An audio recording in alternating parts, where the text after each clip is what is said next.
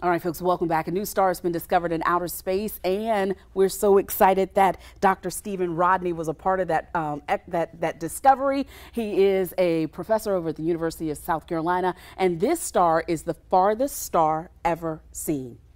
So do you just look up in the sky and think, well, that wasn't there yesterday? How do you find a star that's never been seen before? Sure. Well, it was a, a very surprising discovery. Uh, this came about because a, a, team of us, a group of astronomers all around the world, uh, had a project using the Hubble Space Telescope to observe a different star. It was actually a, a special star that had exploded, uh, what's called a supernova.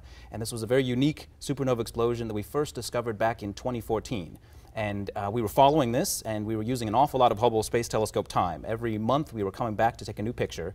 Uh, and my colleague, uh, Dr. Patrick Kelly, who's now at the University of Minnesota, uh, at some point in uh, 2016, we were observing this thing, and he uh, showed us an image sent it around by email, and he said, hey, there's something new here. Yeah. Uh, and it was unrelated to the first one. It just happened to be in the same picture. and we looked at it carefully and said, that's not a supernova. It's not an exploding star. It was something very different, very unique. And the first time we had ever seen a star that was magnified by a factor of about 2,000.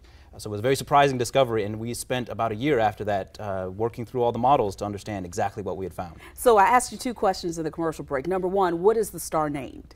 Sure. Well, we uh, took a vote among the team, and uh, we uh, settled on Icarus, -huh. which is the uh, from Greek mythology, the boy with uh, wax-feathered wings who flew too close to the sun. Uh, and we came up with this name because this star, the light from this star, flew too close to the dark heart of a galaxy cluster, and that's what made it visible, and that's also what is making it invisible to us today. And that was my second question: Is it still there? And you said it depends on what "still" means to you. That's right. Yeah, time gets very confusing confusing when you're thinking on cosmological timescales. Uh, the light from this star has taken about 9 billion years to reach us. And so that means that the star itself, uh, if we were able to uh, tra transport ourselves instantly there, it's long since gone. It has uh, exploded as a supernova and dissipated into the ether. But the light from that star uh, is still shining today, and would, we would still be able to see it, except for the fact that the brief magnification that made it visible to us has gone away.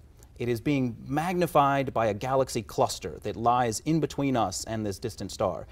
The, the light from that star is being uh, collected as if it was passing through a magnifying glass or like an optical lens, uh, but the lens is imperfect and it's moving uh, across the sky very slowly. But it, what happens is the, the light is briefly magnified as if you're moving a magnifying glass in front of your eye, and then it goes away again as the glass moves off.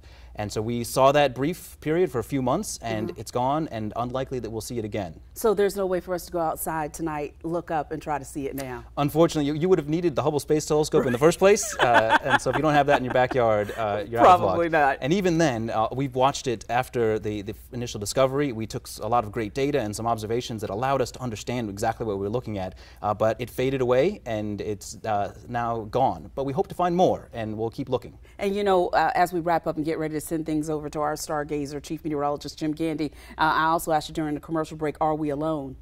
Uh, yeah, I think probably not, but unfortunately, uh, it's awfully hard to talk across galaxies and across the cosmos. So uh, don't hold your, your, hold out hope for a phone call anytime soon. Or we can just register for your class next semester and see everything you want us to know about that. Good to see you, Doctor. We appreciate Thanks. it.